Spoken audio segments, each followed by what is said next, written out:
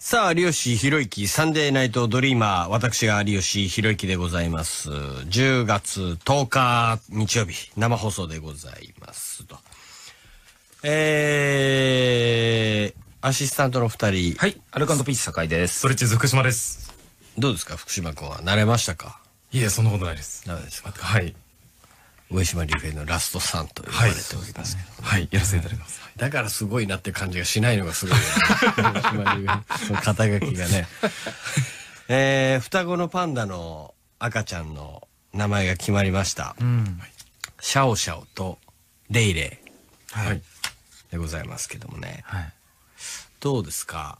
高橋さん的には。シャオシャオ。シャオシャオとレイレイ。ああ。まあまあいいのかなっていう感じはしますよね。うん。うん、パンダっぽい。パンダがまあそうですよね。はい2個並べるやつね。二個並べるやつはいまあ、くしくもなんと水長剣の感じですよね。シャオ、シャオ、シャオ、レイですよね。レイレイのシャオはいって。いうのがありますから。ああ。レイレイとシャオシャオ。その辺のやっぱ北斗の拳の、なんとの方ですよね。なんと、なんと水長剣の関係者の方がいらっしゃったのかな。いないと思いますけど多分ね。上野動物園多分いなかったと思う。例えば、でもどうですか？うんまあでも、しっくりは、まあそれ来るんだけど、はいもっといい名前あったんじゃないかなって酒井さんなんか思うとああ、確かに。でも、この、つなげんのはやっぱもう、うん。これは決まりのような気がまあそうなんだよね。それはなんかルールみたいね。はい一応ね。そうなんですよねまあでも、夕品とかね。あっちの、あれもあるのよ。別に並べなくて、上野の、上野系はこれなんだよね。で、あっちの前浜、前浜じゃないわ、し南紀白浜の方は浜がつくんだよね。はいはい、なんか夕品とかねああ。そういうとかあ感じが。んまき決まり事でもないんですね。そう、まあ上野はこっち系で行きましょうっていう感じがあるみたいね。はい林家みたいな。林家と、まあ、柳家の違いみたいなのかな。うんあじゃあ、柳家小三治さんお亡くなりになりましてね。そうですね、本当に。ご迷惑をお祈りいたします。すいません。はい。どうですか？そうだな。いいのそしたら、もしあればもうじゃあ、えっ、と、しえー、両、両将。両将。両将両将ですね。三国志のなんか武将みたいな名前ですけど。両将と？両将と、長、長仁。長仁長仁さん。超尿でいいですか？長仁ですね。超は張り詰めるの張り、超、あ、そう、は春。張りに、はい尿は何ですか？尿はあの、おしっこの。あの尿ですか、はい超尿。尿 もう膀胱がパンパンっていう感じそういはい。超でもいいの尿と、もう一匹目なんでしたっけ？えっ、と、シャオレイ？え？シャオレイ。違うこと言ってたんだけどな。よくわかんないけど。はい、福島君、これは教えてください。はいパンダの名前、どういうなのが良かったのか。チャオチャオ。チャオ。シャオシャオに決まったんですよ、今回。はい。ちょっとふ、ひ一言あり。一言。はい。反論ありだね、シャオシャオに。あ、いや、その、あこれが一番いいんですけ。どいや、あの、二番目チャオチャオ。のチャオチャオ。はい。チャオチャオと？と、ミャオミャオ。じゃあ、これでもいいよね。これがいいです。はい。こっちの方が。はい。俺はもっと、なんか、あみ、もっと浸透しやすい名前があったんじゃないかなと思うんだよな。一緒に感じシャオ、ちゃうんですシ。ャオっていうのがな。確かに。あ。あペイペあ。あ、ペイペイ。はイ。ペイペイと、い。えーシコシコ。浸透しますかね。ペイペイがまず、あるからちょっと、ペ何イペイがあるんで。あるって何？いや、じなんか、電子マネーみたいなペイペイ。そうなるとダメだし、シコシコはもっとダメですよ。なんでダメなんだよ。いや、ダメですあれね。ダメ、これダメばっかりで。お前の長女はなんでいいんだよ。長、長女 Release all that stress, stress with our variety program.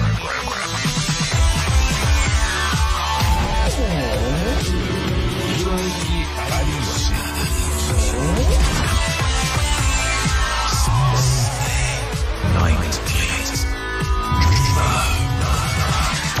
こんばんは、太田プロの真珠、広島が生んだ怪談時、軍人ロックスター有吉弘行でございます。東京半蔵門 JFN スタジオから生放送サンデーナイトドリーマー。今月のアシスタント改めて、はい、アルカンドピース酒井ですスト。レッチーズ福島です。はい、えー、学生 M1 王者と、はい。肩書きを引っ提げて福島君でございます。ますね。よろしくお願いします。よろしくお願いします。なんで学生 M1 王者 すいません。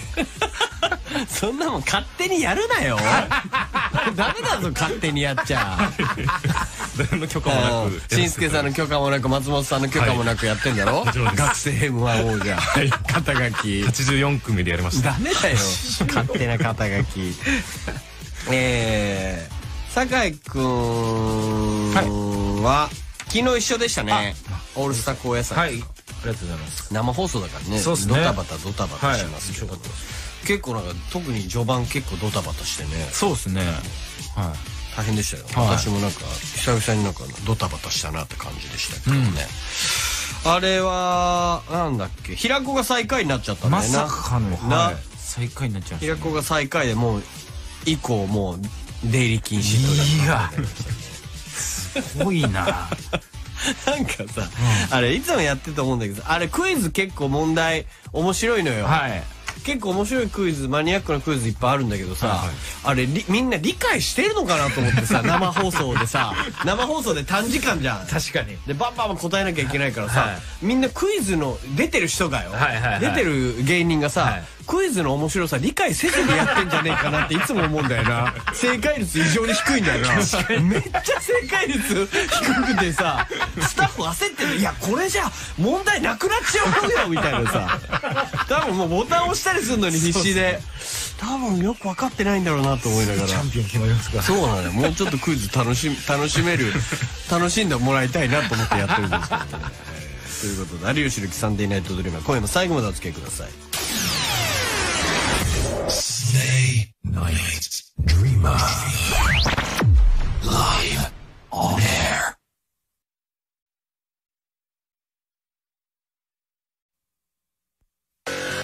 Stay night dreamer. Live on air. Sunday night dreamer. 有吉弘之サンデーナイトドリーマー今月のアシスタントこの方です、はいアルコピース酒井です。ストレッチーズ福島です。えー生放送メール募集しておきましょう。今日10月10日は銭湯の日ということでテーマこちら。お風呂の話。あなたのうちのお風呂実家のお風呂じ近所にある銭湯スーパー銭湯などなど旅行旅行で行った温泉のお風呂などバスグッズ入浴剤掃除工してます。カビだらけお風呂でザリガニ飼ってます。いろいろ 何でもいいです。教えてください。はい有吉弘行のサンデーナイトドリーマーのホームページにあるメールフォームから送ってください。ネットで有吉ラジオと検索すれば出てきます、二人とも風呂は汚そうだね。そんなことないですよ。し綺麗にしてます。綺麗にしてる？はい。福島は綺麗好き？綺麗好きです僕。あそう。はい。あじゃあいいね。一人暮らし？一人暮らしなんですけど本当綺麗好きであの毎日スマホとかもウェットティッシュで拭いたりしてます。お拭いたりとかはい。ちゃんと綺麗。部屋もあんまり散らかってない。そうですね、まあ、狭いので片付けやすいっていうのはああそうなんだ、はい。あのー便座あ便器あるじゃん、はい。便器の裏のところに尿石が溜まってるってことはない。三四三四郎の間んちはすごかった あとは全部おしゃれにして綺麗にしておしゃれなグッズとか置物とか高いこれ何とかなんですよって生意気なお綺麗な置物とか置いてあるんだけど、はい。トイレ行って便器の裏見てみたら尿石びっちり。しょんべんの石固まった。これな何年掃除してないんだ？って多分入居した時から便器便座の裏を掃除してないんだなっていうぐらいの尿石が溜まってた。鍾乳洞。はい。尿石の城。尿石の動く城。めっちゃ言うな。うん。尿石。パンパン黄色。そんなんじゃない？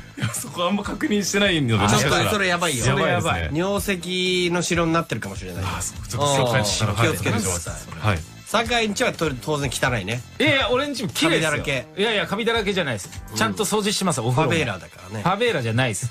ちゃんと掃除してます。尿石も溜まってないです。白でもないです。はい。ちゃんと見ます僕は。苔はすごい？苔も生えてないですようち綺麗好きなわけがないじゃん酒井が。でも汚くはないですね。服とかはもしかして散らかってる時ありああそうますけど物はちょっと多いけどっていう、はい、はいでも物多いはイコールその下がちょっと湿気が出たりとかあやっぱりちょっとカビの原因はあるよ。ダニがあったりとか、あまあまあそうですけど苔は生えないですね、苔なんてお前最後の最後だからな。最後の最後もうそんなん生えたら終わりっすよ。ダニはどう？自信ある？ダニは絶対いない自信ありますね。本当布団なんて干さないだろだって。ベッド？ベッドです。ベッドなんて干さないだろ。ベッドあそうですね。ダニだよ書いてるじゃんもう腕。いいやいないっす絶対。やもうほらもう。ダニ書いてるじゃん。かゆくて 書き始めちゃったじゃん。ダニのかゆみじゃないですこれ。何のかゆみだよ。普通にかゆいだけで書いて普通るだけで。のかゆみがダニのかゆみなんだよそれ。ダニのかゆみじゃないです絶対嫌ですダニは。いないですってうち。いるよ布団干してないんだもん。だってダニがいないわけないじゃん。ダニを殺す手段取ってないだろ？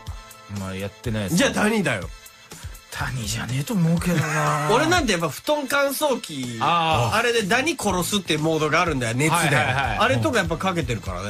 ああ ダニ殺しって呼ばれてるよ俺もダニ界では。ダニ殺し？お前来た来た来たって言われる。ダニが。もう。酒井なんて絶対無理だよだってそれ。ダニ絶対死なないよそれじゃ。もうバルさんもうバルさんみたいなもう毎日炊いてるとかじゃないと。でもたまに炊いたりしますよバルさんとか。本当？はい。そんな多分うダニとかいいやいるよ絶対。いやいんいやそういう顔になってきてるよそう。もうほぼダニだもん。ダニの顔顔。っすか最近おかしいなと思ってだ顔。ダニっぽくなってんすかこれ？おう知らなかったなってる？なってます。飯よく食うもんなほんと最近。いつも食いますよ俺飯は。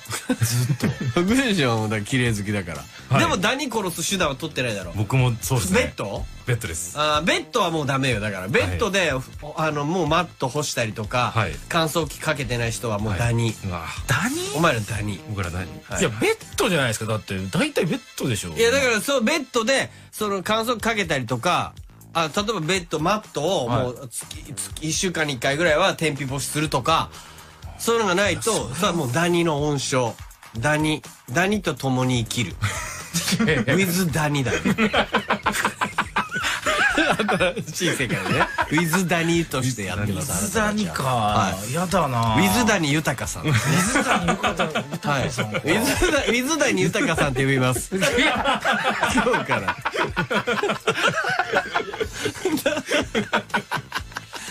まあでも尿石は自信ある？トイレ掃除はしてる？いやトイレ掃除はしてますね。ああそう。トイレは多分大丈夫です。ああそう、はい。絶対もう今日抜き打ちで言っても尿石ないか？ほらちょっとこう。まあまあいやだからほら尿石お前尿石か。でも尿石の尿し石スタート排斥スタートみたいになってる尿石スタートの、えー、ウィズダニ豊さん。何のこっちゃですよそんな。いや気をつけてね。やはい。お風呂も。綺麗にします。うん。はい。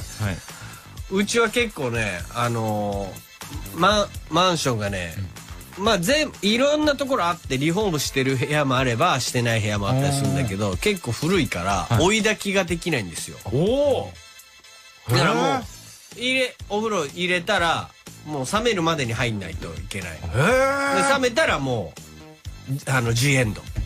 ジエンド？お風呂 G エンド。あ今ジエンド。ええお風呂 G エンドだからもう一回お湯をしっかり入れないとあら。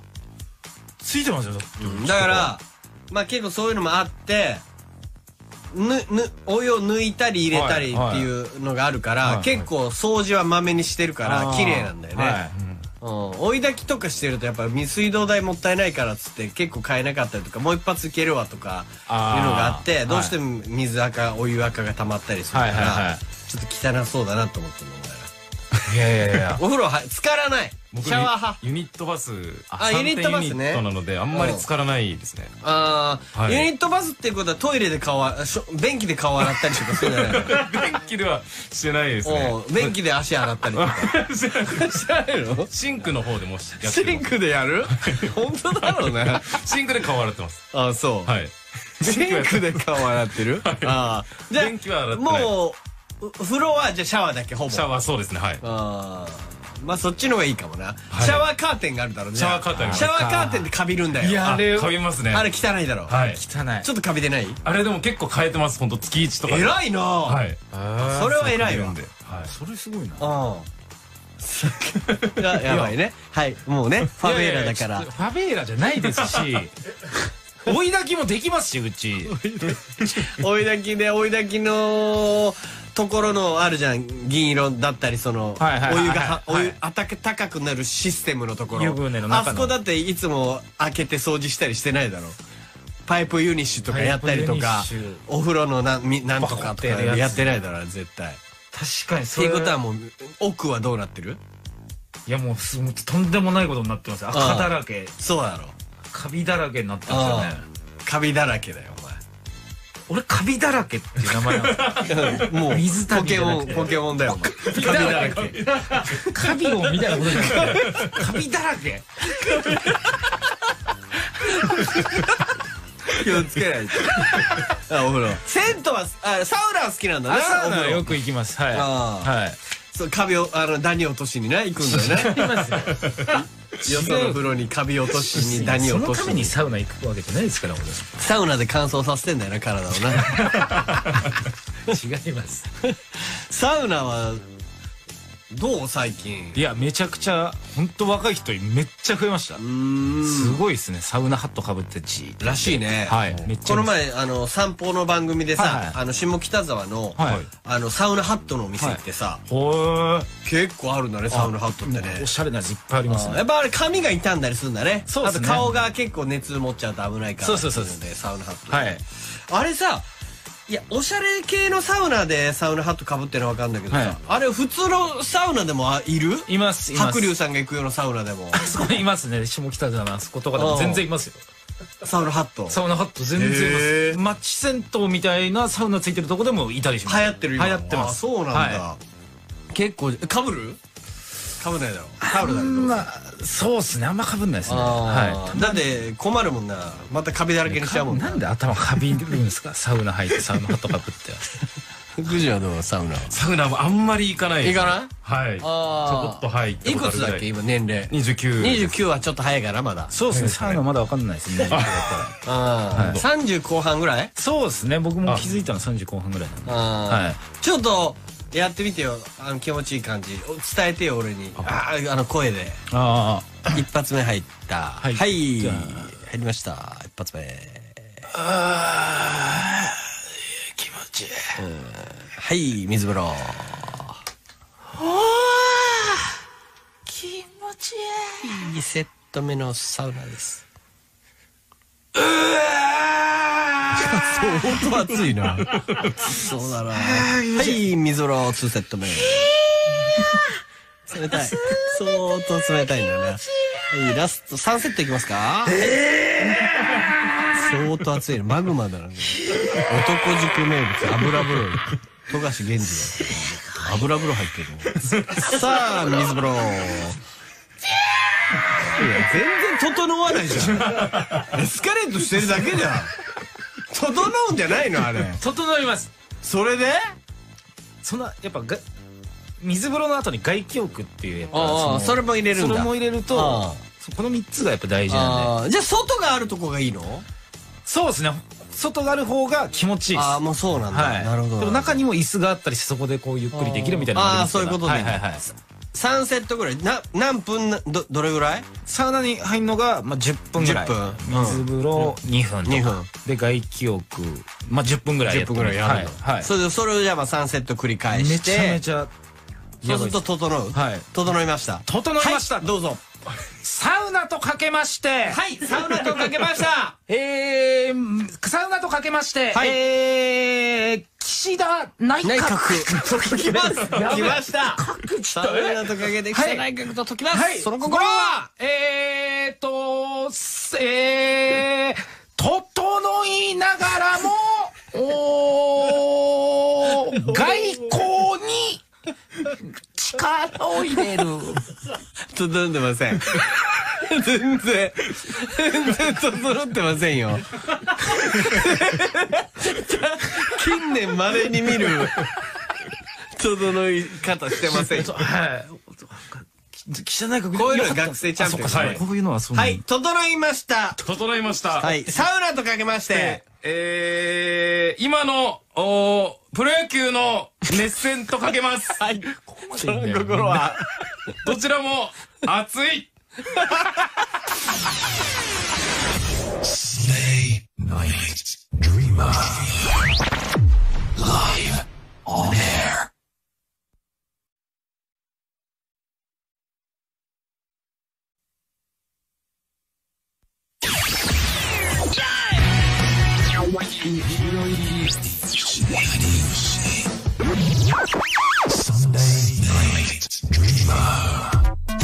さあというわけで今夜のメールテーマは銭湯の日なのでお風呂の話。1010 10月10日、はい1010 1010で銭湯ですね、はい。ということです。えー、ラジオネームメイシングザ道路。福島 FM 僕は家の湯船にお湯を張るとき節水のために半分までしか入れず全身浸かりたいときは背中を床につけて入っています。あまあそれは節水っていうことだね。まあそれはそうもったいないからね。まあそれは気持ちはわかるけど。あの家とかでもザブーンと入ってお湯がブワーッとこぼれるっていう感じは気持ちいい感じはするけどね。確かにね、はい。気持ちいいけどまあちょっともったいない感じもありますけれどもね。お風呂で当然しょんべんしますかええし全然しないですよファベーラでも。ファベーラでもしないですよ多分。船でおしっこちょっとしあっていう感じはありますかでも。したいなっていう。でもできたらなっていう。できたらな。そうですシャワー浴びてる時とかちょっとおしっこしたくなる時ありますあよね。あする？人が見てなければ。しちゃうししちゃいますね。お風呂も。顔みんなの顔色見て。みんなしちゃう？世間の風見て。んだよみんなしちゃいます？世間の風感じながら発言するなお前。自分で正直に発言してくれよ。いやおしっこちょっとしちゃう人が見てなかったらしょんべんする。温泉自分の部屋で温泉施設。じゃないすです。自分のお風呂でです。自分のお風呂でします。顔色。世間の するなこれ。これでする顔してるよ温泉施設では一回もしたことないです。本当？一回もしたことないです。自分のお風呂だけです。はい。はい。福島は？僕は自宅ではあります。自宅でする？します。絶対しまますはい。自宅の実家？あ実家とか今の一人暮らし。のはい。ユニットバスでシャワー浴びながら。シャワー浴びながら。じゃんじゃんする。じゃんじゃんします。もう本当にその結構おしっこしたくなったらお風呂に入るぐらい トイレじゃなく。正面しろよ。ユニットなんだし。すぐそこにいやもうそういう人はさ、はい。それが癖になってるから体感でそうなのよ、はい。だから温泉施設とかホテルの部屋だったらしちゃうだろうもう。いやそれはしないです。もう自ホ分家だけ。テルよ、はい。ホテルの自分家しかしない。ホテルのいやそれは。ホテルのユニットバスではい。シャワー浴びたら、瞬間正面するだろだってしないわけがないじゃんだって。どう考えたって家でしたくはなりまするために風呂入ってる人がまましてや人んちの風呂ホテルの風呂でシャワー浴びながら正面しないわけがないじゃん。我慢するわけないだろ。掃除するの俺じゃねえしと思ってするに決まってんじゃねえか絶対します。いやそのホテルはしないです。ホテルはしない。理由がないじゃん。理由はないんですけど。理由はないです。もう言い言い逃れできない。あのいやそうでしょはい言い訳はないんですけど。いやそれする人多いと思うよ。でもお風呂でっていうことで言えば。まあだから湯船に使った状態でしたらもうこれは軽犯罪だよな。もうはっきり言って。それはダメです。絶対はい。絶対許されないですあれでもね俺はね正直ねやっぱりしてる人は多いと思うのよ。あ温泉だ、はい。プールだでね、はい。おしっこしてる人って。あれやっぱりだからいや体に悪いものじゃなければおしっこをしたら色が変わるっていう、なんかを薬剤を撒いたりとかしないとなくならないと思う。あのお風呂からしょんべんが。ー確かに。そうですね。でわーっとその人がしょんべんしたら、はい。もうその周りが赤くなるわ 薬剤入れとけば、はい。わあれ何やってんですかってなんかしないと思うんだよね。あそれなくならない限りしょんべんはなくならない風呂から。あしてんだやっぱり。そういう曲ですかね。行きましょう。そういう曲じゃないですけど、えー緑黄色社会でめ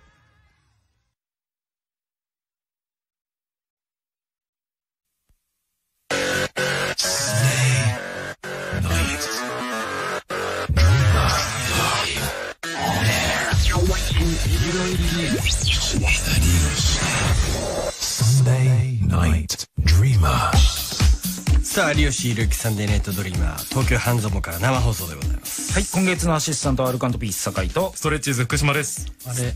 あのいい、福島ストレッチーズってなんでストレッチーズなの？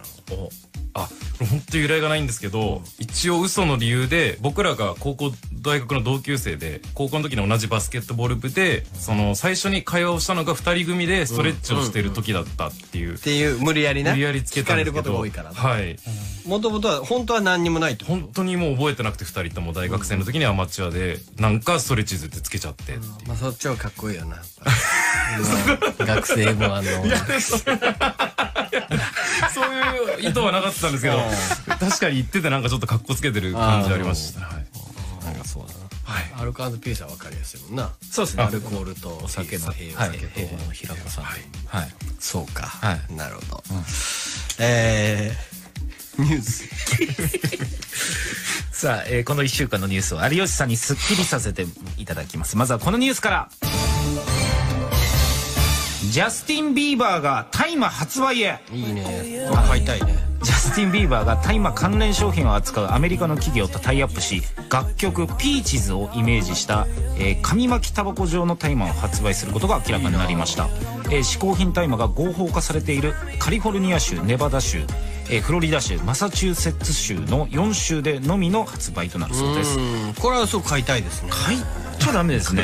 はい。買ってはダメです。買っちゃダメ買っちゃダメですこれはダメです。日本はダメなの、日本ダメです。日本の法律がもう吸っちゃいけないっはいてなってるから、外海外でも日本じゃ買っちゃいけない、はい。だけどこれは悪いけどさはい。ちょっとお前らにまたちょっと質問するけどいやお風呂でおしっこするおお二人に質問です。チャージャー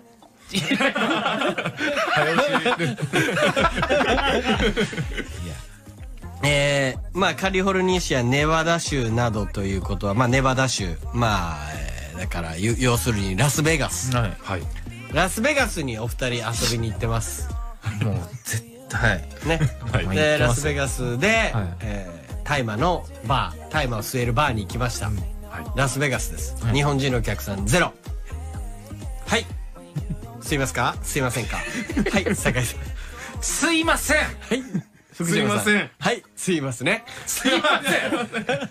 絶対にすいません。あなたたちは銭湯でおしっこする人間です。しません。ね。銭湯でおしっこもそんなしません。人たちがネバダ州というラスベガスという開放感のある場所で大麻を吸わないわけがないでしょ吸わないですよ。吸いますすいませすいんません。吸います特に福島。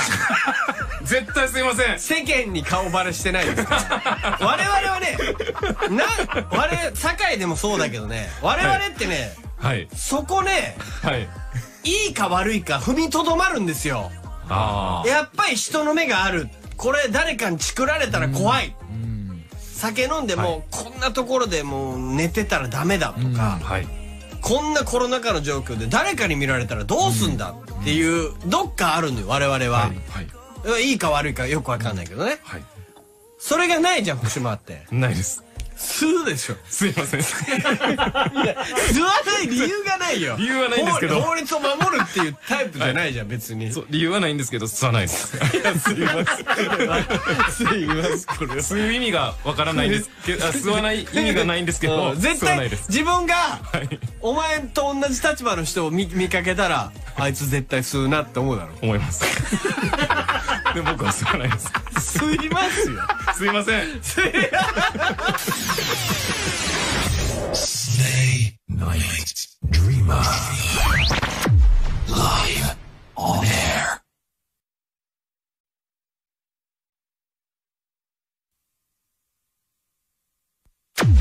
Send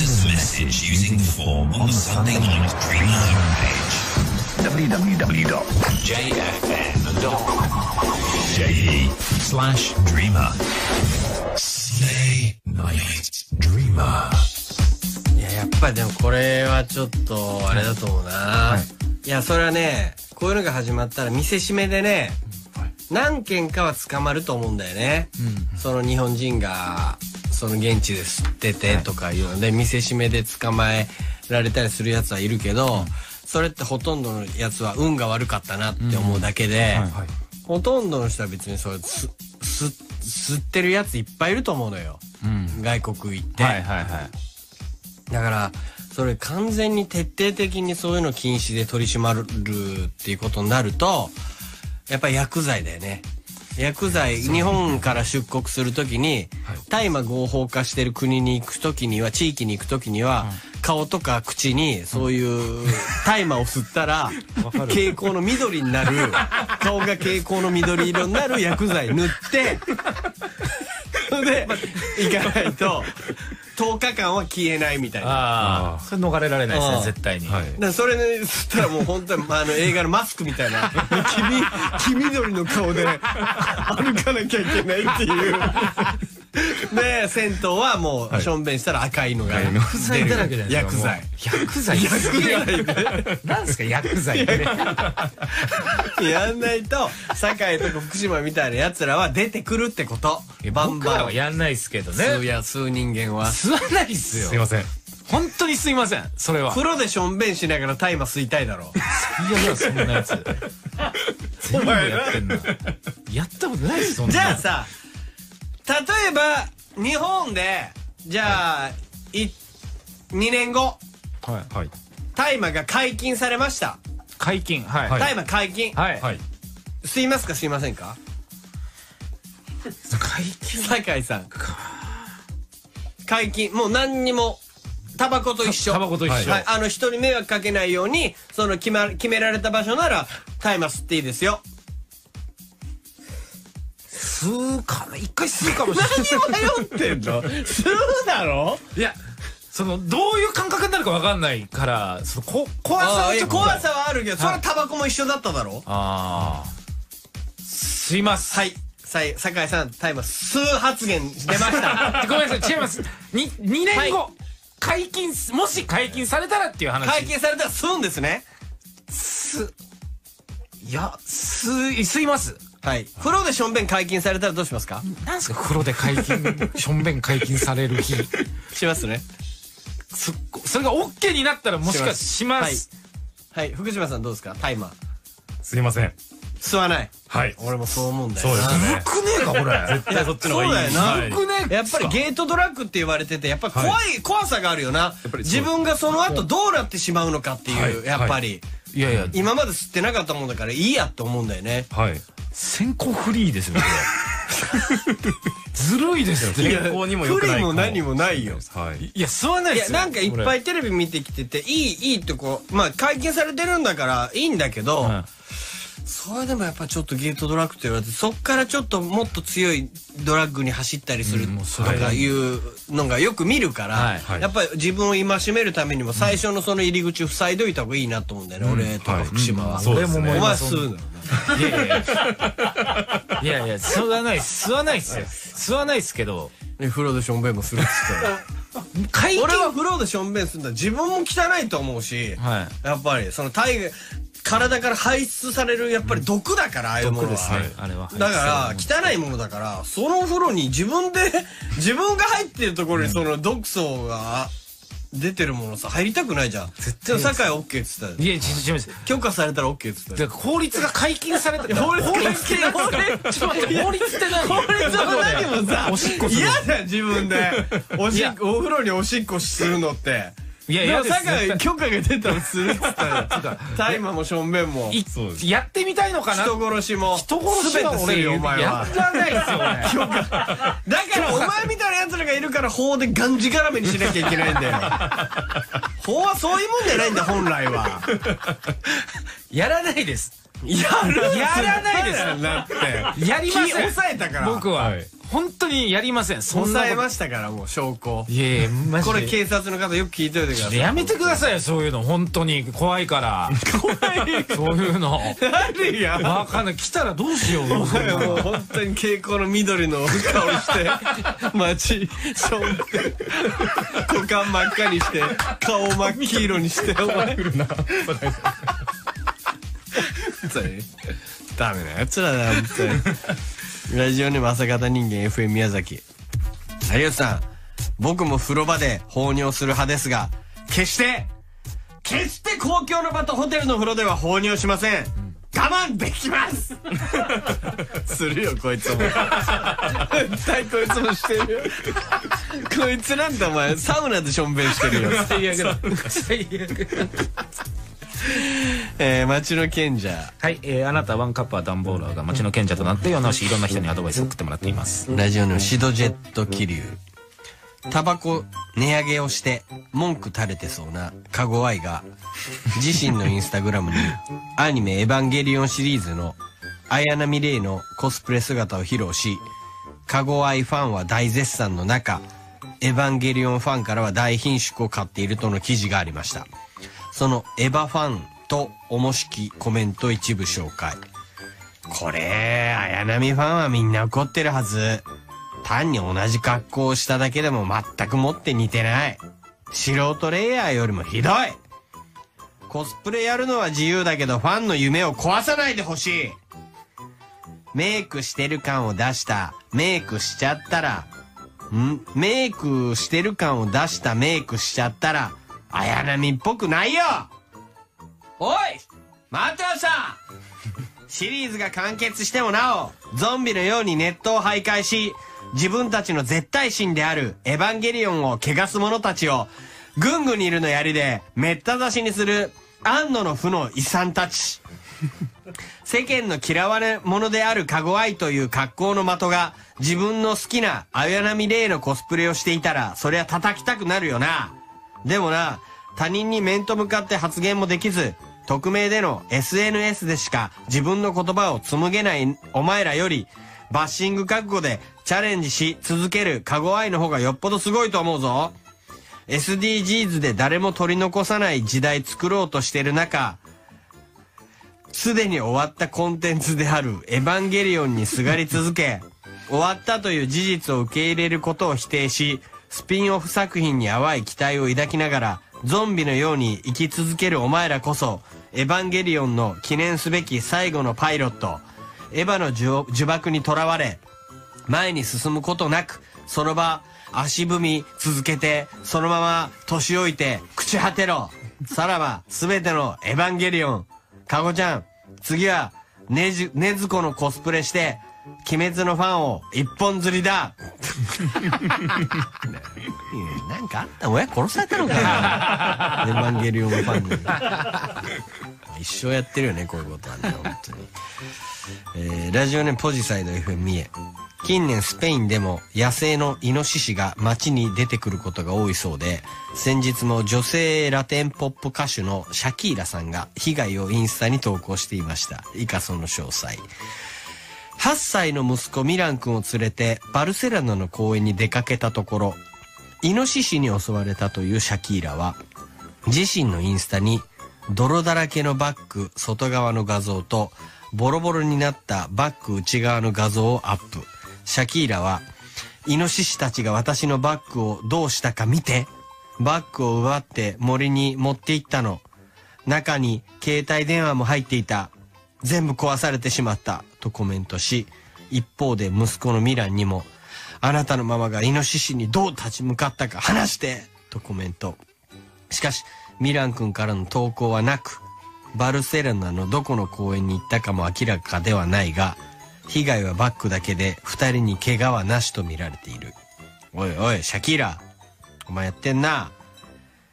被害損害保険金が目当てか、息子のミラン君を有名にしたいのか知らないけど、それは握手じゃろ。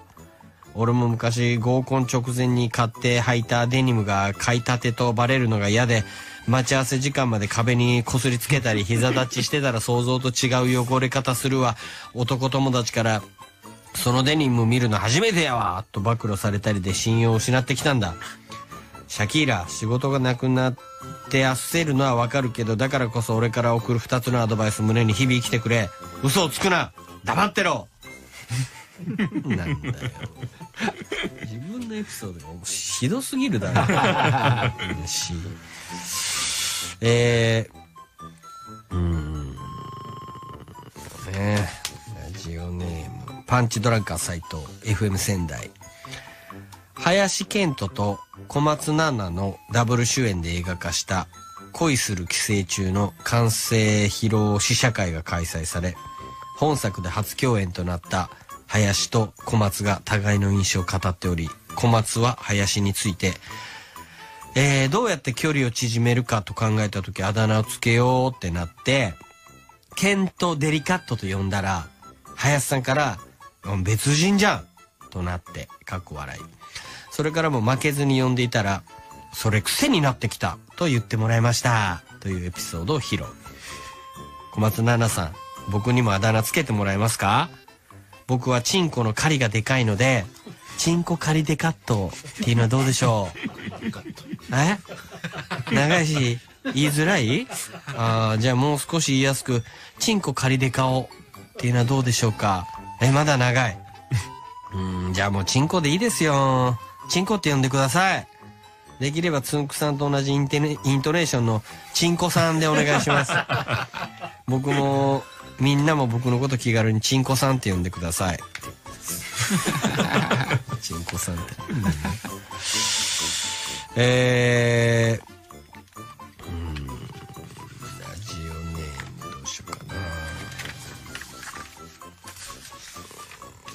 論より証拠の大ライス先日 Facebook、Instagram で技術的な問題が見つかりサーバーがクラッシュする大規模障害が起きた。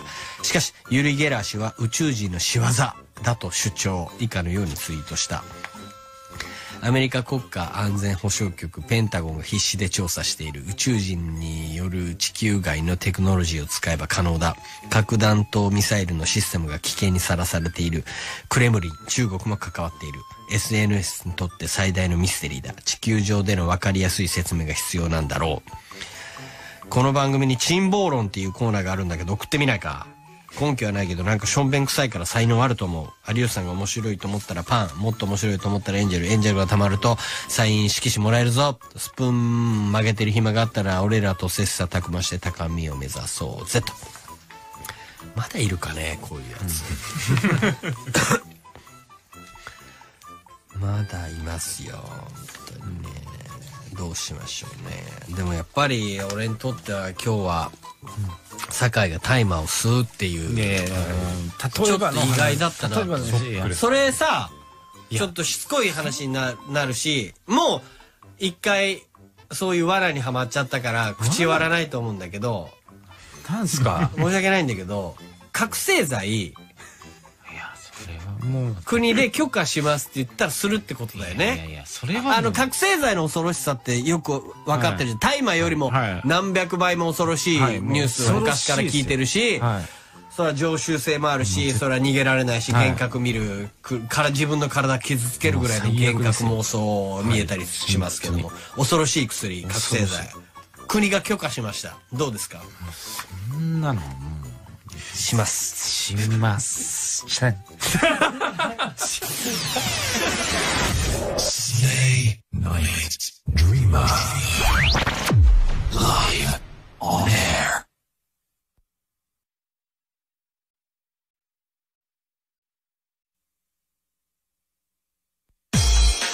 さあ、有吉弘之サンデーナイトドリーマー1時間経過しようとしておりますけれども、ラジオネーム論より証拠の大ライス。酒井さんは、はい。遊園地の観覧車でおしっこ解禁と言われたらしますか？しますよね？そりゃしますね。いやいや、観覧車っすか？観覧車から、だから外に向かって。外に向かってですか、いや、それは迷惑かかっちゃいますもんだ。いや、でも解禁ですよ。解禁ですか？国が認めてますまあ、そうかしても。本当に、だから、すべて国で禁止してもらわないといけないんだよね。だから、そう。本当にだからこういうやつがいるからなんだよ。自由にならないんだよ。ああらゆる法律なんかそういうやつがいなければ必要ないんだもん。だって殺人を犯しちゃいけないとか殺人なんて殺さないよっていう世の中だったら殺人罪なんていらないんだけど、はいはい。お前みたいなやつがいるのよ。自由であれば人を殺しちゃうっていう。あ。でも、それ言われたから言ってるしょんべだけで。んしちゃう自由であればしょんべんしちゃうっていう。バカじゃないですか、すんげえ。だからバカな人がいるから法律がどんどん強くなってまあ締め付け厳しくなっていくんまあ、ですよ。そうですね。はい。怖いね。怖いね。ラジオネーム論より証拠の大ライス。酒井さんはジェットコースターでおしっこ解禁と言われたらおしっこ遊園地。でぶちまけ遊園地ばっかなんですよね ジェットコースターり観覧車でできたらジェットコースターでもしますけど。ドドドニョーパドンドンパンみたいな。ドニョーパみんながしょんべキリン になりますよ酒井ラジオネーム直人芋けんぴらみ酒井さんの家の布団は追いダニ機能ついてますか？追いダニってなんですか？ダニが出てくる。出てくる。いらないですその機能。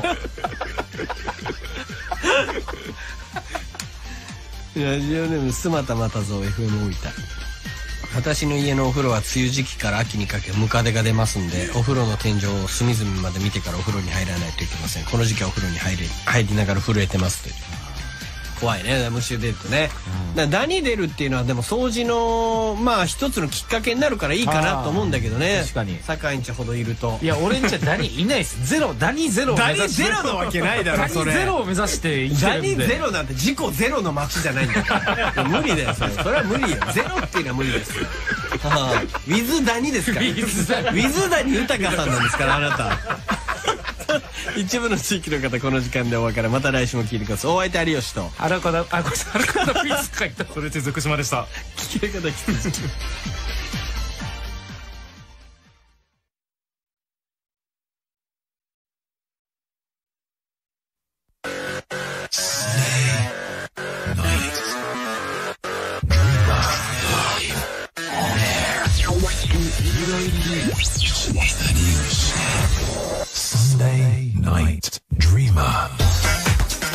2021年10月10日日曜日時刻は夜9時になりました。この時間からお聞きの皆様改めましてこんばんは。有吉弘行です。はい今月のアシスタントはアルコピース酒井と。それチーズ福島です。東京半蔵門 JFN スタジオから生放送でお送りをしております。サンデーナイトドリーマーです。と首都圏住み続けたい街ランキング、1位武蔵野市。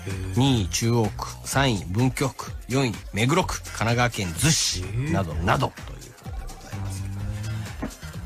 川崎は入ってないですね。川崎そうっすね。住み続けた武蔵小杉とかねたまにああ武蔵小杉ね。はい。ああなるほどなるほど。川崎なんで。あの辺そう確かに最近人気あるよね。そうですね。確かにね。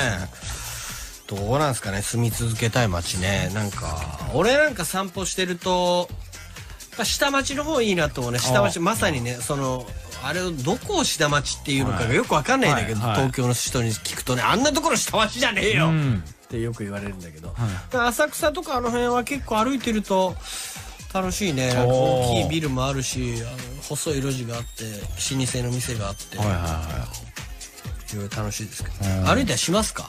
あしないでしょあんまり。そうっす。移動で歩くぐらいですかね。そうだよな、はい。福島の。僕もそう移動で歩くぐらい移動で歩くですねはい。でほとんど仕事がないだろうでも。ないです。そうすると歩かない？そうですね。移動する必要がないことが多いので。どうして？バイトしてんの？バイトします何のバイトだっけ？あの予備校のちょチューターをやってまして。え？はい。医学部専門の予備校で、すごいじゃん。そうです。ね福島って医学部なの？いや僕医学部じゃないんですけど医学部生受験する時は全部教科は一緒なので。おおおおはい、まあ、学歴もあってそういう勉強のおどこだっけ大学？慶応義塾大学。慶応義塾。はい。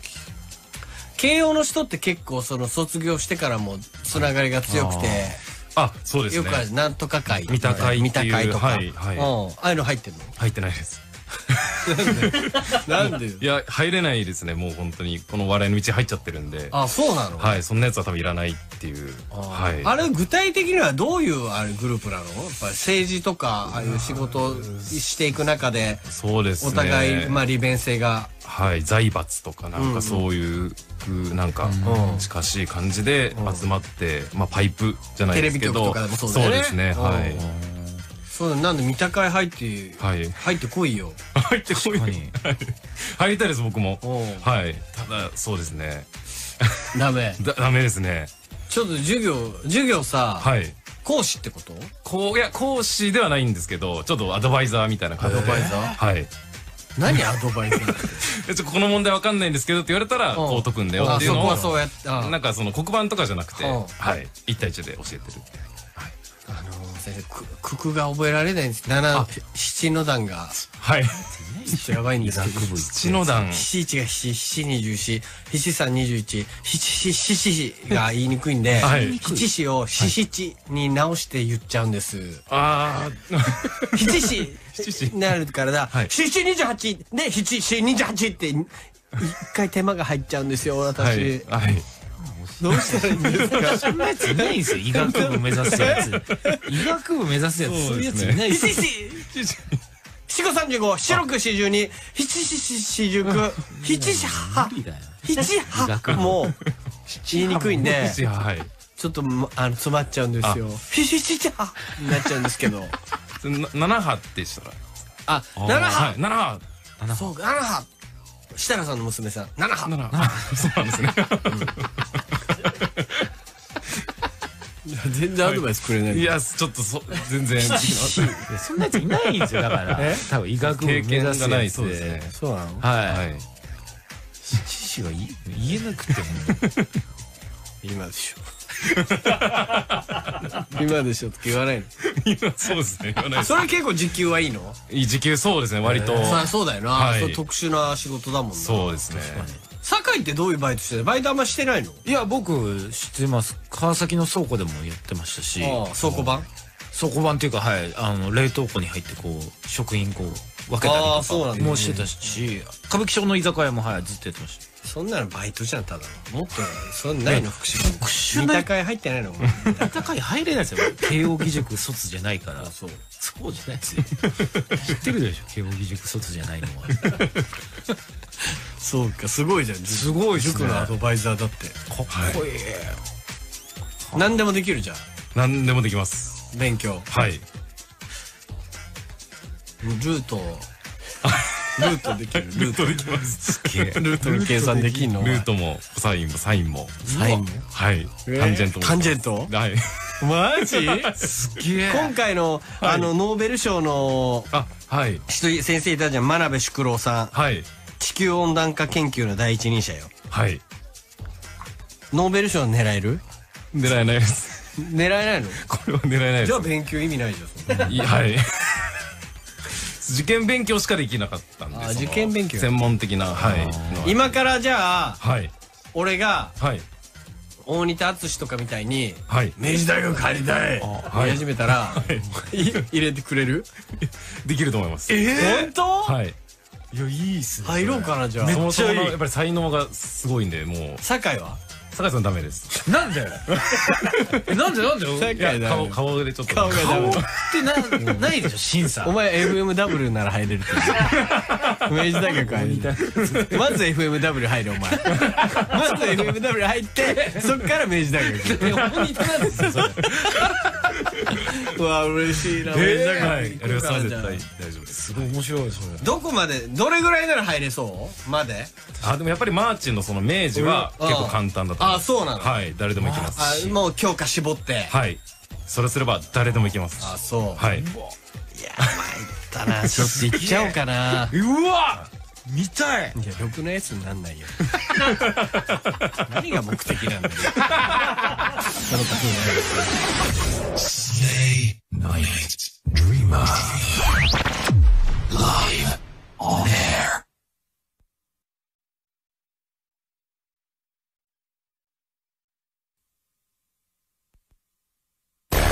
Send us a message using the form on the Sunday Night Dreamer homepage. www.jfn.jp slash dreamer. それでもそんなに勉強を教えるの得意だったら、い YouTube とかでやんないの？あ、そうですね。中田あっちゃんとかみたいなはい。そこまでじゃないですか。それはでもなんかあんまり面白くないなという、なんか、自分の中で。そうですね。ちょっとだからそのせせっかくやってきたのにその過去をまあ捨てたいまでじゃないですけどなんかせっかくお笑い芸人やってて、なんかそれ慶応慶応っていうのもあなるほどねちょっと。なんかはいあちょっともう悩めるなんだな。そうですね どうせいつかもうそこも使ってってなる。ま あ今日もここで言っちゃってこの手そう。そう。みんなそうだよ、はい。やっぱ隠しきれる人いないもんね芸人で、はい。やっぱ芸人はね何でも言っちゃうよ。全部投げますからね。う。ん恥も外聞もなくやっちゃうから、親があれあの人なんですよ。とかさ親があれなんですよ。とかもう何でも言っちゃうからね結局、はい。慶応だなじゃあな、はい。はもうい。見たかい。見た会に、はい。誰か有名人と同級生なの？だ授業誰かと受けたとかないの？あ、トリンドルレーナさん。トリンドルレーナちゃん一個前の席にいらっしゃったことはありました。すごい。一緒に授業受けました。じゃあお前トリンドルレーナーになれるんだなじゃあななれますなれるよななれないっすよ。なれないっすよ。トリンドルレイナー。絶対ななん。でそう全く学歴ない社会 あの仕事するんだろう。か関係ないところに来るんだろうなと思うけどな俺らなんかはな、はいそうです。そうなんだでもそう楽しいからだよな楽しい。それは。やっぱり夢を持ってはいやりたいなっていうそだよはい。親がっかりするだろう。がっかりしてます。そりゃそうだよな。未だに反対されて、はい。いやそこ大変だよ。俺らなんてなもうはい本当にもうチンピラみたいなもんだから別に何しようが別に。なんとか生きて犯罪さえしなきゃいいですよっていう親だけどさ、はい。そら慶応まで行って、そうですね。はい。全く意味ないもんな全く意味ないです。最低の人間だもんな最低のもう親不幸者で。そうだよなはい。慶応まで行って大麻吸って風呂でしょんべんして 大麻は吸わないですね。はい。最悪だからしお風呂でしょんべんはしますけど。かかわいそうにな親御さん 厳しいそこまで言わないでください。上島さんの、はい。上島さんと飲んでんだもんな、はい。慶応まで行って。いや、そ、そ、そこは関係なく、ほん、それは本当に、同じぐらい、同じぐらいというか、全然上島さんの方がもう、すごい奇跡的にすごい。はい。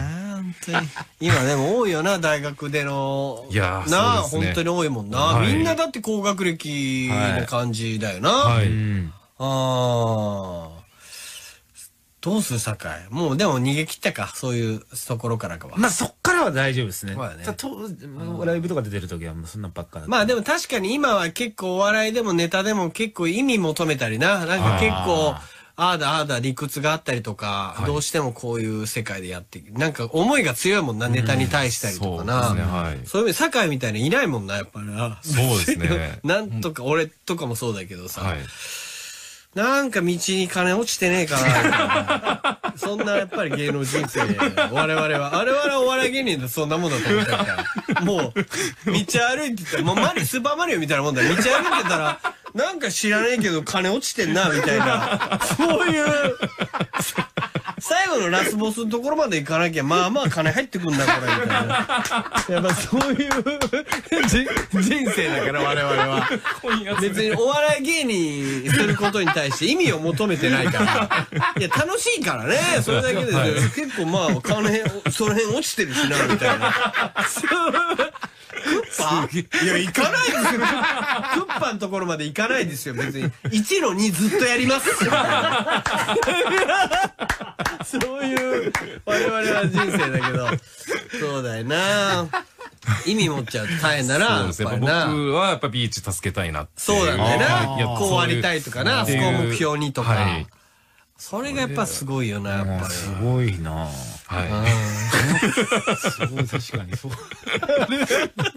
まあ、どっちが幸せなのかな？わからないな。それは人それぞ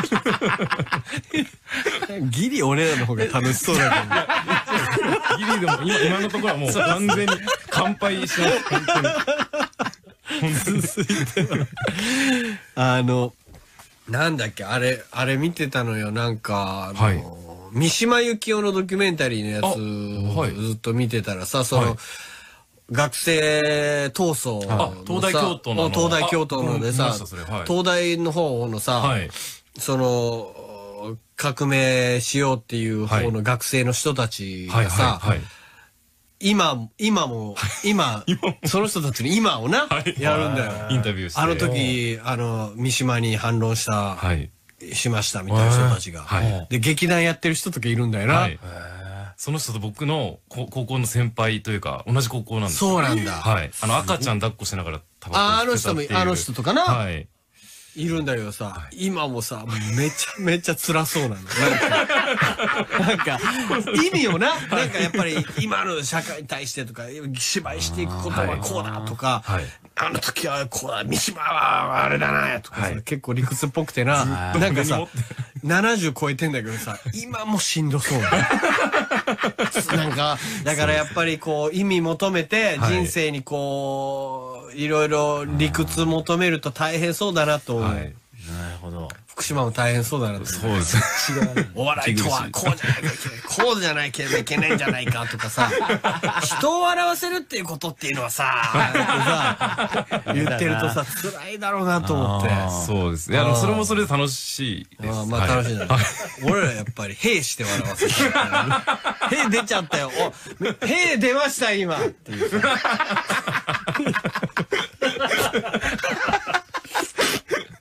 キュンキュン。私ある種キュンキュンとするようなメール募集しております。ラジオネームポジサイド。戦後のアナル格差について調べようとアナル図書館に来た俺早速目的の本を検索してその場所に向かうとそこには戦後アナル史その光と闇と書かれた本に必死を必死に手を伸ばす橋本環奈ちゃんの姿があった俺はその本をひょいっと手に取り「どうぞお嬢さん」と言ってカンナちゃんに渡すとカンナちゃんは「あ兄が借りてこいって」と話し始めたので遮るように俺は「のんのんのんのんの他人から親切にされた時は何と言うべきですか？マイフェアレディと切り返すとそこで初めてカンナちゃんは「あありがとう」と言ってくれた。それから10年後、アナル研究家として大成したカンナちゃんが、お昼のテレビで、あの図書館での出会いがなければ、今の私もなかったと思います。とコメントするのを見た俺は、心の中でこちらこそありがとうと思い、帽子を脱いでテレビに一礼した後涙をこらえて、午後からの刑務作業に向かいたい。ちょっとキュンとできなかったかな。ラジオネーム、論より証拠の大ライス。コンビニで列に並んでいると、こちらへどうぞと呼ばれたのでレジに向かう。するとそこにいたのはバイトリーダーの土屋アンナさん。アンナさんは俺を見て、あお前ペットボトル一本のために並んでんのか。セルフレジ使えよ、タコ。100歩譲って並ぶとしても財布出して待っとけや。レジに来てから財布出すのは混んでるだろう。少し考えろ、童貞かよ、しこってくたばれ。と言葉の剣山でついてきた俺はリュックから電気料金のハガキを取り出し「すいません。この支払いお願いします」とお手数おかけした。出すの勇気いるだろうな。なんか電気料金のやつとかコンビニで払うのさもっとスムーズになんないのかな？あれなんかな？さーっとなレバーコード1個とか、は4つぐらいあるだろバーコード。ありますね。はい。渡すやつもよくわでかんない人いるし。反抗して。はい。はい。あれ結構呼ばれること多いよな「すいません」っつってな。スマホででも今なんかできたりしますけどね。あそう。いろいろ便利。はい。俺もなんかなんかの手違いで水道料金かなガスかどっちかだけそのコンビニで支払うタイプにしててさ。うわ。めんどくさいなあれな。忘れがちだし。ラジオ三平。親愛なる戸田恵梨香ちゃんへ。君と同じクラスになってもう半年が過ぎたね婚姻矢のごとしとはよく言ったものさ。初めて君を見た4月5日。初めて君と目が合った4月23日。初めて君のスケブラを拝んだ6月10日。もう少しでパンティが見えそうだった7月4日。全部昨日のことのように覚えてるよ。何を隠そう毎日寝る前に。エリカ観察日記をつけているし。夜中に10キロ離れた君の家まで突っ走って部屋の明かりが消えるまで5時間立ち尽くした男だからね。おっと余計なことを書きすぎてしまったね。好きです。エリカのことが大好きです。隣のクラスの広瀬すずも好きだけど僅差でエリカが1位です。恥ずかしがらずに僕の胸に飛び込んでおいでよ。この手紙を学校中に拡散され全校生徒及び全職員 PTA 教育委員会地域包括センター所轄の警察などありとあらゆるところから要注意人物扱いされ不良の気分を味わいたい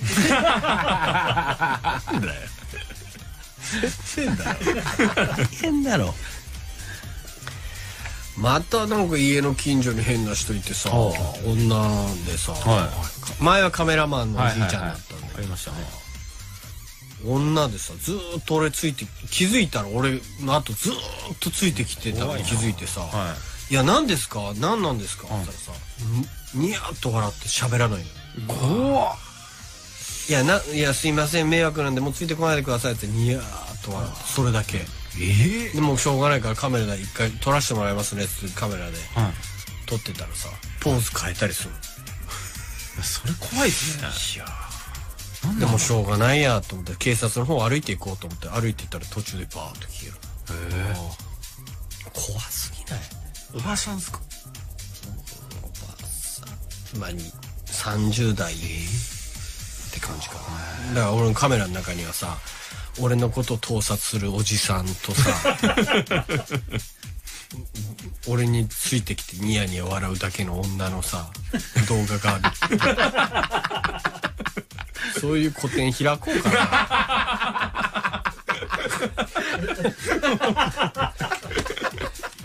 やばいよ本当に。やばいですね。タブレイク Thursday night dreamer. Live on air.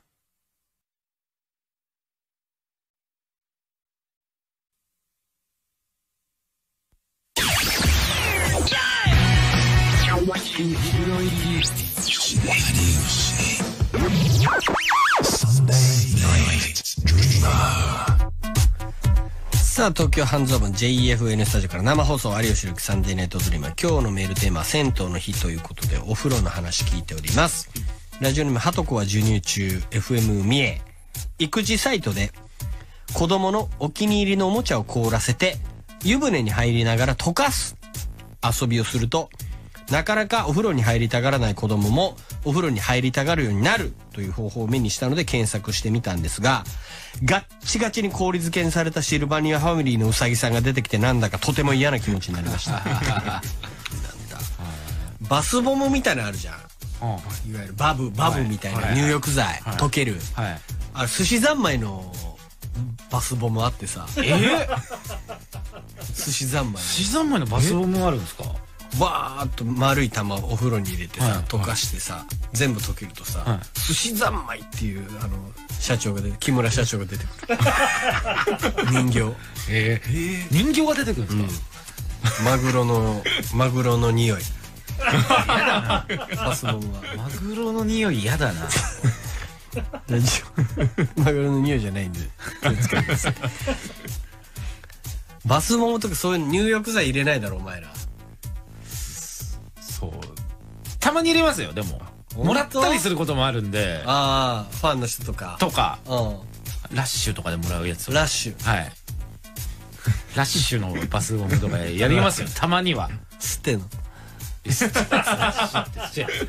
バスボムの話入浴剤の話を。ラッシュって。そのいやすそのラッシュじゃなくてあの入浴剤入浴剤売ってる店のラッシュ、ねラッシュ。あああのいわゆるドラッグのラッシュ。合じゃない法っす非合法みたいなラッシュじゃない。じゃなくて。合法ドラッグのラッシュじゃないじゃないです。お風呂のやつ作ってるやつ。合法ドラッグだとすもうやめてください。俺は合法ドラッグも吸ったこともない。だって合法なんだよ。合法ですよ。それは。うん。それは吸ったことある？合法っすか？いや合法マジでないです。本当にないです俺本当にないですから。完全に危なかった。危なかったのかじゃないですよ。俺俺マジでない。俺今ね自分でこの質問してやばかったかと思ったやばいこれやばかったかと思った俺。頼むぞ。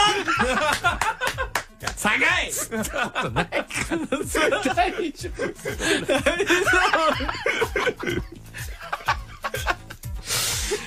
ラジオネームのび盛り。二分宮崎。僕の家のお風呂は天井の一部がカビだらけで廃墟の風呂かとでも言いたくなるような汚さ。しかしもう何年もその風呂なのでなんだかもうそれじゃないとその汚さじゃないと落ち着かない。カビの免疫がつくのでカビだらけのお風呂にしてみてください。カビの免疫つかないですよあれは。肺が侵されていきますから気をつけてください。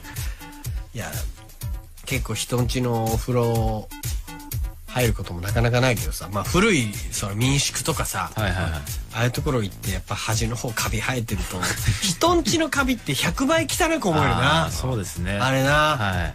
自分家のカビの100倍汚いな、いうん。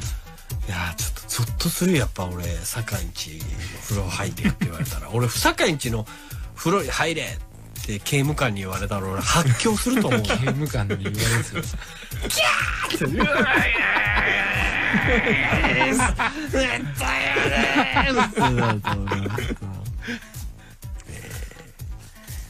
ラジオネームカマセイヌレモンサワー FM 栃木僕の家の近くにある健康サウ健康センターのサウナでは公園などで落ち葉を風で飛ばして集める時に使うブロワーを使ってロウリュをしていますあるね。かなり強力なロウリュを味わえるのはいいんですが使い方的には絶対アウトじゃないかと思っています、絶対アウト？なんかこういうのやめた方がいいと思うね。なんかそれ絶対アウトなんじゃないですかとか。それテレビ的に OK なんですかとか、自分で自分をなんか自分 NG 出しちゃうみたいななんかダサさあるよね。なんかそんなこと言って OK なんですかとかさ。うるせえんだよ。邪魔だなお前らみたいなやつがいるから狭くなんだよ。ボケ。曲いきます。フジファブリックで赤黄色の金木犀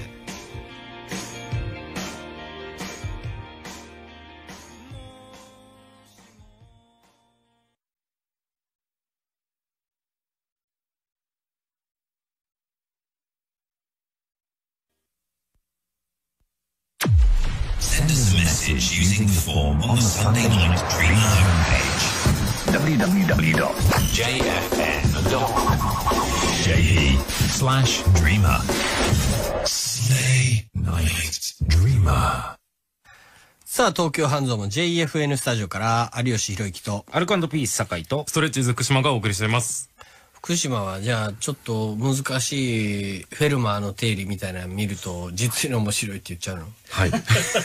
あの興味ある？興味はあります。あそう、はい。すごいな、い。一番何が得意なの？一番はでも英語かもしれない。英語？はい。へえ。バターバターバターバターななんて今おっしゃるどうかなと。発音。バターえ明治大学行きます。絶 対えバカにしいやいやいや 英会話できる？普通に。あでも会話できなくてもう全部あのもう文法受験か。そうです。もう本当にえ実用実用性がないことしかできないです。ああそう、はい。I have はペン。ペンです。酒井は？何ですか？酒井英語できる？うん、まあ、多少でちょっと喋って英語。えー、My name is, My name is ケン。いや、もっとあの、スラ、あの、ちょっとストリートで。ああ、いや、おー、 My name is ケンタ。おー、 Yes、G ood。おー。おー。 Okay。I have pen。Yes。Good。何笑ってんの？酒井 何笑ってんだお前単語が全然出てこないですね。英語はむずいか、やっぱ。もう一回言ってちょっとちゃんと会話してはい。Yeah, my name is Kenta. Yes.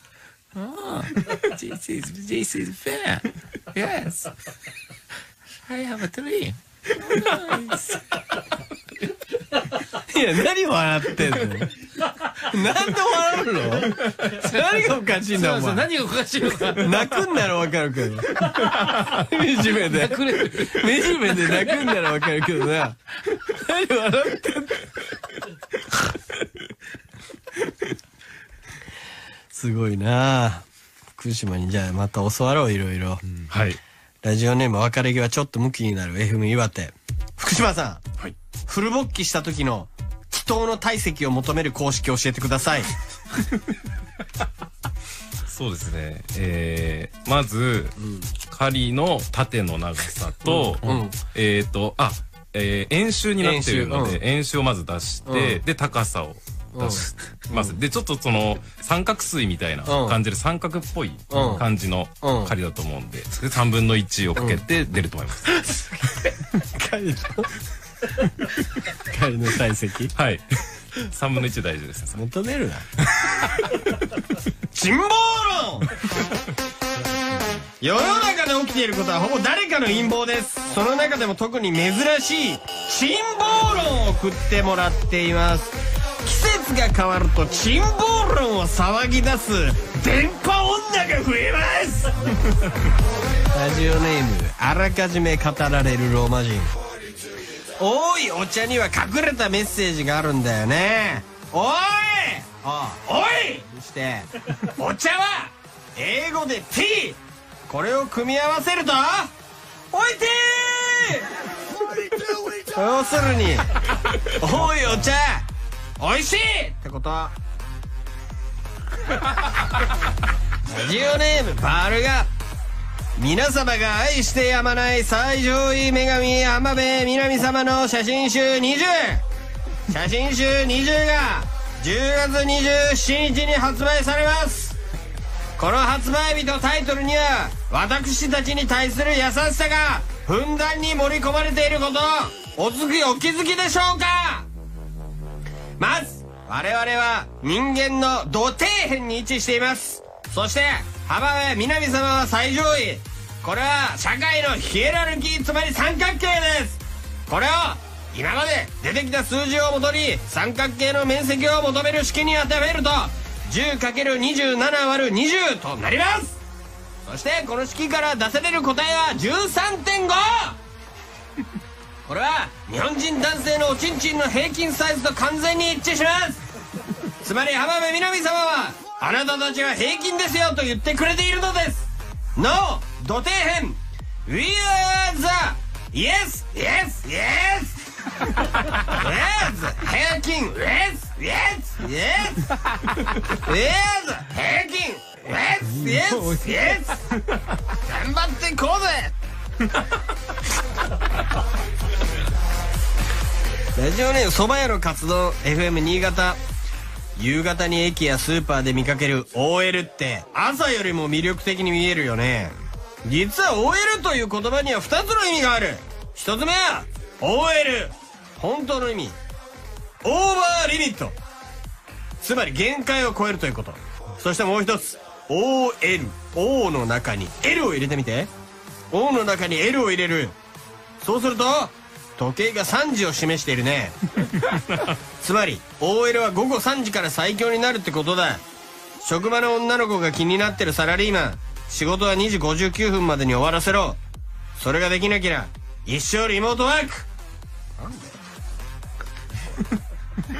面白くねえな。ちゃんと言うな。面白くねえな。4ネームサイン Z 早きこと風のごとく静かなること林のごとく侵略すること火のごとく動かざるごと山のごとし略して風林火山。いやちょっと待てよ。ちょ待てよ。これを少し変えるとこうなるな。早きこと尿のごとく静かなること尿のごとく侵略すること尿のごとく動かざるごと。尿のごとし。略して尿尿尿。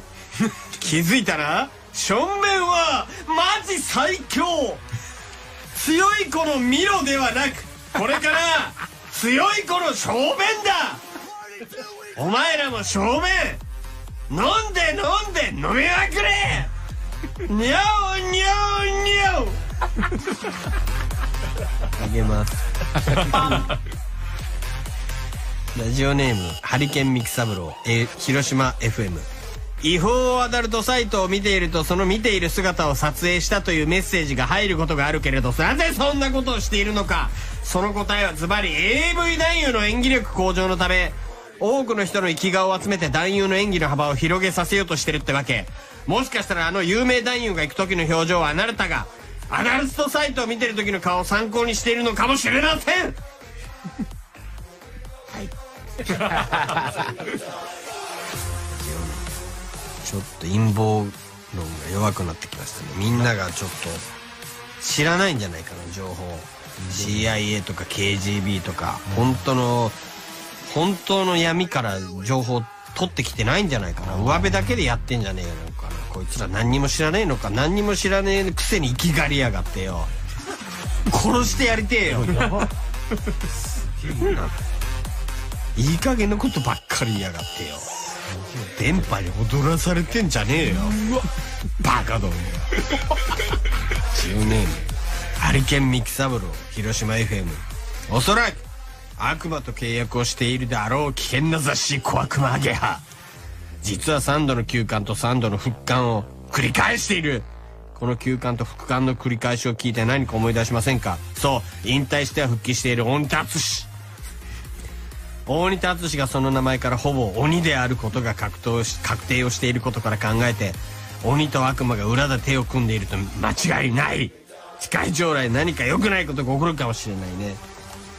ことは全然ない。全然何にも知らない。みんな情報を。何にも知らないくせに上辺だけで何か知ってるようなふりばっかりしやがってよ。何にも知らねえだろ。いいか？インターネットで調べたぐらいの情報がなお前何にも知ってないのと一緒だぞそんなもん。インターネットで調べて出てきましたこんな情報。何にも知らねえのと一緒だろバカがよ。自分の足使って自分の体験談話してみろよ。おい！くすバカや情報に踊らされやがって。よ恥知らねえよ。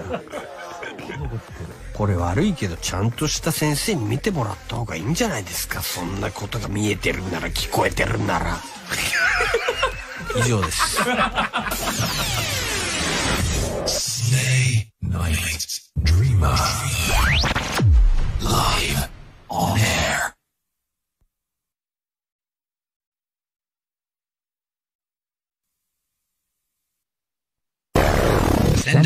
Message using the form on the Sunday Night Dreamer homepage. www.jfn.jp slash dreamer. Sunday Night Dreamer. あれ慶応の三田会みたいなそういう組織で、はい。じゃああの堺をじゃあ殺そうぜっつってさはい。完全にあの完全犯罪するの可能かな可能です。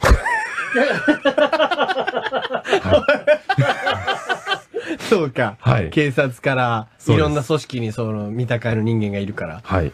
堺終わったなお前なんで追われてるんですか、俺、見た会に一。瞬だと。一瞬絶対大丈夫です。俺逃げ切れますよ。見た会からは。24じゃないんだよ走って走って走って逃げても無駄だよ全然いや、捕まるからいや、捕まないです、捕まないです。絶対大丈夫です。あのー、バキでいう、あのーはい。あれだから、オロチドッポの、新進会のメンバーがああらゆるところにいるのと一緒だから、タクシーの運転手さん、酒井さん？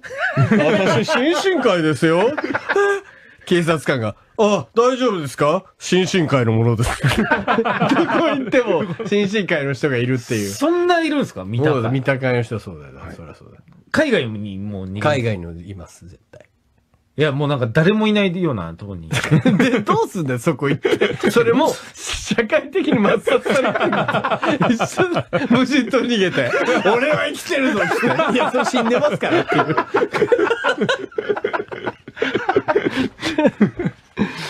えー、ラジオネーム黒羊 FM 群馬。Hey, Kenta! Does Kenta piss in the sauna? Question. Oh, yes. Peace in the sauna. Yes. イエスですね。はい。ケンタははい、サウナで、はいしょんべんします。ずるいわ。それはずるい。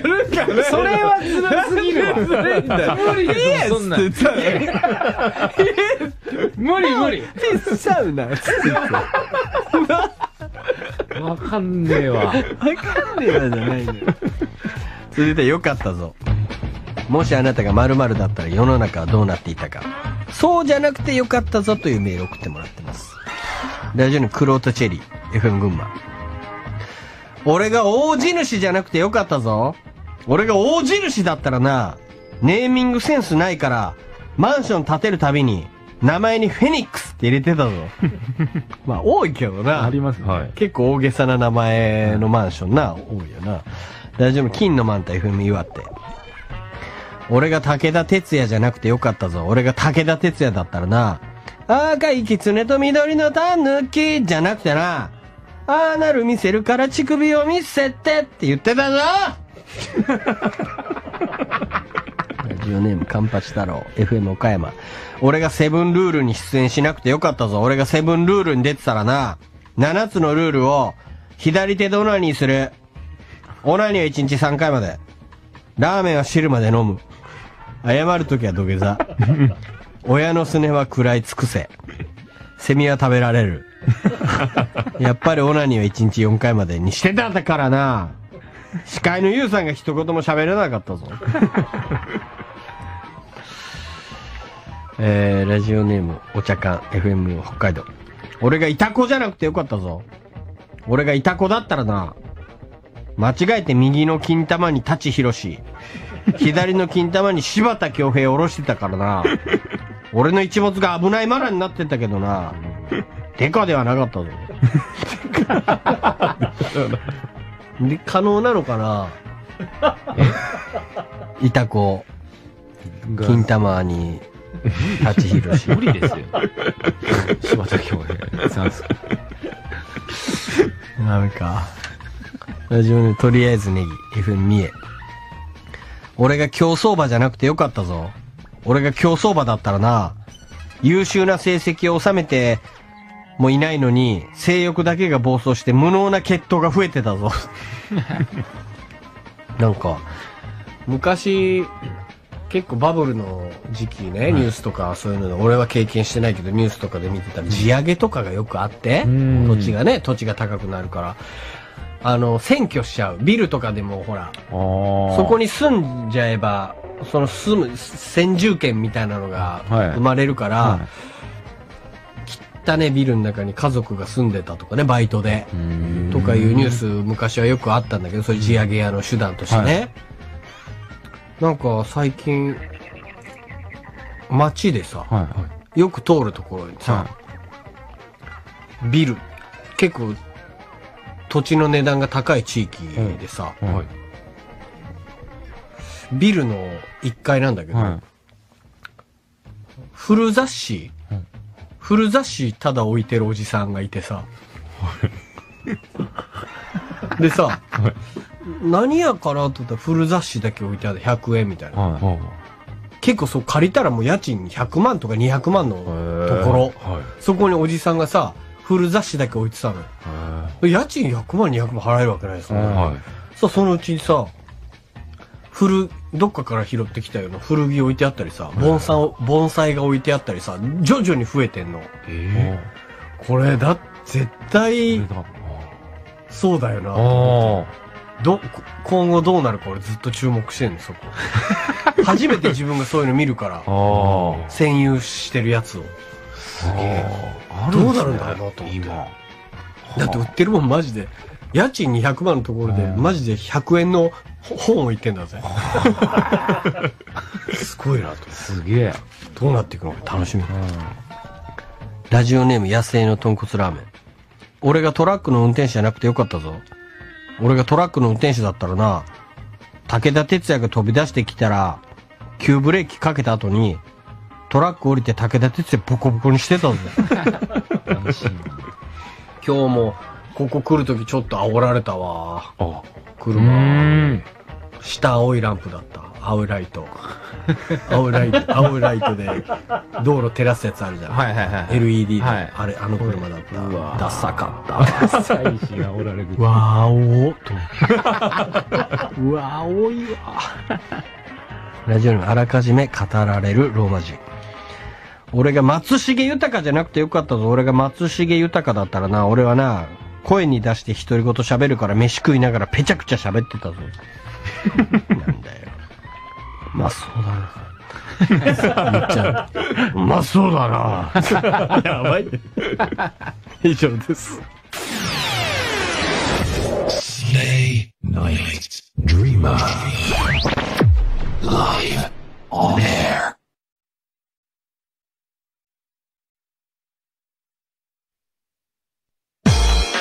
さあ、有吉弘行さん、デイナイトドリームお別れの時間近づいてまいりましたけれども、ラジオネーム高速進化 FM 栃木。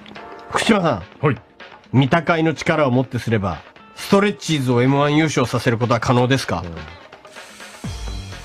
できます。すげえな？できるんだよ。何でもできるんだ、何でもできます。何でもできんすか？はい。そういう組織だって聞いてるよ、俺は。はい。怖っ。えー、ラジオネーム、マッサマン元年、FM 栃木、酒井さん、自慢の英語で川崎の魅力を教えてください。前、おあい、 my か、Iか、はっきりししてくれよ、 my かよ。どっちだ、マイカ。 My city、My city、My city's 川崎。いや、早く魅力を教えてください。I like 川崎。いや、 I like、魅力を教えてください。ね。えー、川崎 is very, very nice town.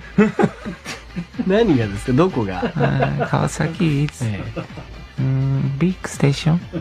え 駅が、あー駅あー川崎もっとあるでしょ？なんかご飯美味しいとこごないんです飯美味しい。川崎 is delicious. 川崎 is, マイシティ is 川崎。何笑ってるんですか？一ミリも面白くないんですけど。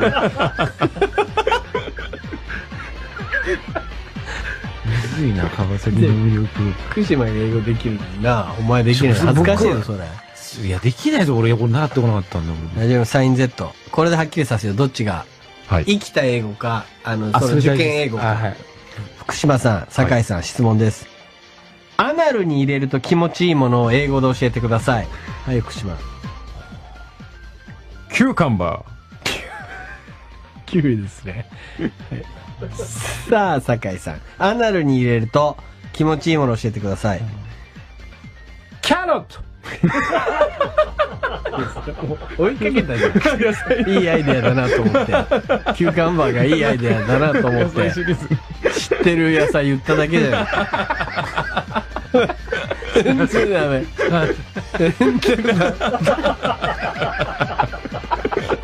何本入れますか？じゃあ。何本入れるかだけ教えて。スリー何本も入れるわけねえだろ。切れて終わりだよ。まあ、ということで、えー、10月まだ半ば。まだ何回ある？まだ3回もありますよ。はい。はい。3回もありますから、ちょっと、ね、はい。いろいろまだまだ頑張っていきたいと思いますけど。うんあれ？福島もう終わるんじゃない？そろそろ。そうです。なあ、福島お試し期間だからもう終わるんだよ。そうなんですよ、実は。うんはい。はい。休館場アナルに入れて。最後、最近も終わり。まあまた塾のせん、まあ見た会ということで一つはい特徴が見つかったんでまた呼ぶかもしれませんので。あ、よろしくお願いします。はいはい。ありがとうございまます。たぜひ、見た会の力貸してください。はい。ぜひ、よろしくお願いします。お相手は有吉弘樹と。アルコンドフィッシュ酒井と、ストレッチーズ福島でした。また来週お会いしましょう。さようなら。